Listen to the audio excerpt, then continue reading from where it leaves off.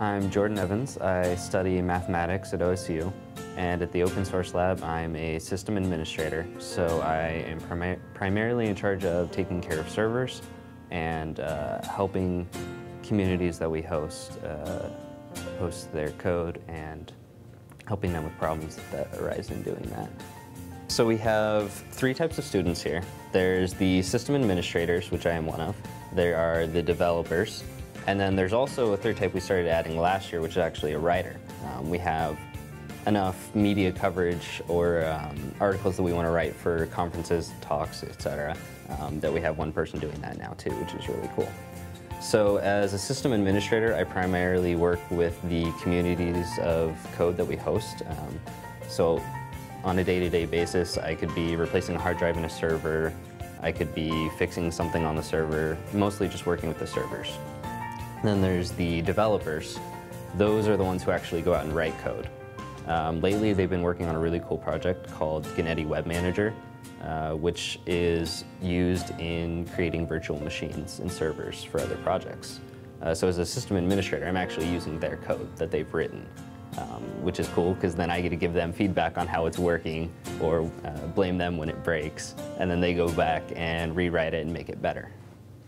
So one thing that makes the Open Source Lab unique from other um, projects, development projects or hosting efforts is that it's almost entirely student driven. We have a handful of full-timers, one full-time system administrator, one full-time developer, but a majority of the work is done by about a dozen Oregon State University undergrad students who work here. We're trained in, um, in all the types of skills that we need to either administer the systems or develop the code that the dev side does. There have been times, actually, when the OSL student devs, when we were between uh, full-time sysadministrators, when the student devs have run everything, just kept things going smoothly for months on end. So that's the level of expertise that we're trained to.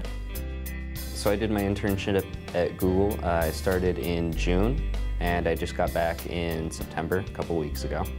And while I was there, I worked on a couple of programs that monitored servers, uh, one of which would collect data and then graph it. And so I wrote an interface uh, for the graphing system to display graphs that you could say, you know, this server's, something's going wrong with the server, here's a picture to tell you what's going on.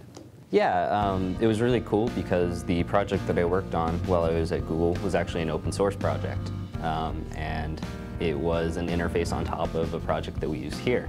And so it was really cool to uh, sit down and look at the internals of the code that we use so much here and write code on top of that. Working at the Open Source Lab, I've been exposed to concepts and programming techniques far before I get to them in my um, regular curriculum. It's usually stuff that the curriculum touches on a little bit, but I'm actually applying it hands-on here at the OSL. That's been really great for me. I think the best part, though, has been the mentorship and the ability to interact with the kind of people that I would be working with in a software development profession. And that's really kept me motivated and just these really cool people who genuinely love to learn and write cool things both at work and in their free time has motivated me and encouraged me to continue with computer science despite challenges. When I graduate from Oregon State, rather than being a first timer, someone who's maybe worked at a fast food place, worked at some uh, menial job around campus to pay their way through school, and has zero experience in their field, I'll have three years of professional level software development experience behind me. And that is something that no other program I've heard of can offer. Yeah, I think it's really great that the OSL is within the university because that gives us as students an opportunity for a real job that is something we can take out into the, the world after we're done with school and say, hey, I did this for, I've already done this, been doing this for four years. Um, and it's really awesome that it's kind of its own set of jobs that we don't have to compete with other people who have already gone to school and it gives us a really good experience.